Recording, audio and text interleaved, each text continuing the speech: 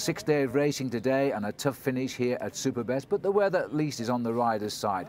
Time now for your emails from the commentary box. Let's have a look at the first one. It comes in from Terry Davis from Cambridge. Terry is asking how many calories do the riders burn up on a stage of the Tour de France? Well, it depends really, for what kind of stage it is, and it depends also on climatic conditions. On the flatter stages, a rider will burn around about 5,000 calories, but on the big mountain stages, that figure can be as high as 8,000. Let's go on to the second question then. This is coming from Ed Simpson in Greenwich. What is the significance of the yellow numbers some riders are wearing? Well, we all know that the yellow jersey indicates the man who leads the race on the shortest time. Well, the yellow numbers is for the team that leads on the shortest time, and the team competition is actually the time taken on the first three riders of each team every day. Added together, the team with the shortest time is the team leaders, and at the moment, I think it's Team Garmin Chipotle leading. It is indeed. The top three teams, Garmin Chipotle, Team Columbia and CSC Saxo. All right, the third question then. This one comes in from Sarah Evans, Cardiff. How can the chasing peloton time the catch of the breakaway so close to the finishing line as they did yesterday? Well, I don't think they calculated. In fact, it was a miscalculation yesterday by the main field because normally what they would try and do is pull the breakaway back at around about 10 to 15 kilometres to go using my favourite little recipe of pulling back a minute for every 10 kilometres of the race. However, yesterday the main field really got caught out, I think, by the strength of those three men up front. Well, when Mark Cavendish actually got alongside the last of that breakaway, Nicolas Vogondy, there was only two seconds of the race still to go. Let's go back to the action.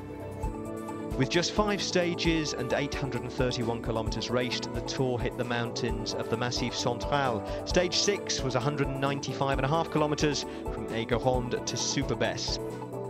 There were four climbs, including the one up to the finish at just under 1,300 metres, with a steep kick towards the end that looked the perfect launch pad for a late attack. Cadel Evans got in an early attack. No actual bodily harm, I don't think, but he certainly made his point to the motorbike policeman he thought was slowing down the team car as he was paced back into the race after a mechanical problem. Alejandro Valverde was likely gauze down the right side after his crash the previous day, but felt good enough to have his team on the front on the run into The case that Paul riders are running out of pacemakers here. Sooner or later, I think somebody's going to go. Yeah, well, I tell you what, they might be running out of pacemakers, but there are the guys this afternoon, Phil, have done the job for Alejandro Valverde. They're pulling off now, and now we're going to see who is the one who's got the acceleration. Menchov was on the left-hand side, Cadel Evans on the right-hand side, and this is the difficulty at the back. And there is Damiano Cunego not enjoying this last one and a half kilometres. No, he's not, and I'm surprised to see that, but Cunego, who we thought had good form, is shaking his head a little bit there. These riders under extreme pressure here now as the, the big men of the Tour de France suddenly have lifted the tempo. Look at the gaps that have been forced open here now. And Kim Kirchen is still up here. The yellow jerseys here. Menchov, Evans, Riccardo Riccò, Valverde. All of these riders going shoulder to shoulder to the summit. The only man who's got a teammate left in there to give him any hand at all is Alejandro Valverde. And his teammate has come straight back up to the front. That's Oscar Pereiro on the front now, trying to set the sprint up here for Alejandro Valverde. Moving up, look at the man on the right-hand side in the yellow jersey, the white, red and white, the white and yellow jersey. that is Riccardo Riccò. He's waiting to pounce. His nickname, by the way, is the Cobra. And the man we haven't mentioned, Frank Schleck, the champion of Luxembourg, is here as well.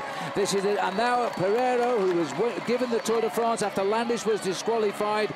And there's a crash here. Schumacher's touched the wheel. The yellow jersey is in trouble. And as they sprint for the summit of the Rill here, Riccardo Riccò is going for it, and there will be time lost, I think, for the yellow jersey. Depends how the judges read the last kilometre rule. But look at this. The man called the Cobra is striking again, as he did in the early days of the Giro d'Italia.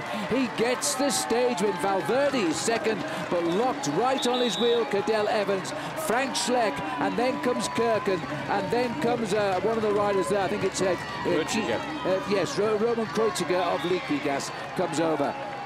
Well, I have a funny feeling, Phil, we may well see that they will not apply the kilometre rule on a climb like this because this is a mountain-top finish and yeah. we're going to get a change in the overall classification. Well, I really think they will split time the riders. Now, look in the distance there. There is the yellow jersey coming up towards the line of Schumacher. I make him down by 32 seconds, so he's definitely lost that lead as yellow jersey. Not a very nice way to lose it. But, you know, the best place of the front run is Kim Kirchen. I think he'll be the next leader. And let's have a look now at the slow motion of the accident here. Really unfortunate. Uh, but as you can see here, there's a move And it looks to me as though Kim Kirchen is the rider that Stefan Schumacher has hit his back wheel. It looked as though Kirchen moved across to his right, up the inside of Frank Schleck. Uh, but it was Kirchen's wheel. Now, how ironic is that going to be? Because Kirchen, I think, will be in yellow.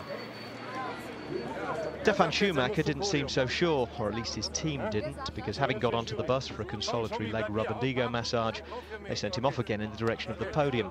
It was a wasted journey, though. The president of the commissaires was clear on the rules and how they applied. He has to go as quick as possible. Malheureusement, il est victime du, du règlement puisque l'arrivée est en sommet et donc la règle du dernier kilomètre et des trois derniers kilomètres ne joue pas, si bien qu'il est crédité du temps au moment où il passe la ligne. So Team Columbia's astonishing opening week continued. A stage win for Cavendish, Thomas Lövkvist leading the young rider competition, and Kim Kirchen, the owner of the green and now the yellow jerseys, even if it had taken a crash to help him claim the race lead. Can you just tell me what happened with uh, Schumacher? Did you know what happened when he hit the deck? No, actually not. Uh, I have been on the right side, so they closed and uh, everybody was breaking down in front of me, so I had to break down too.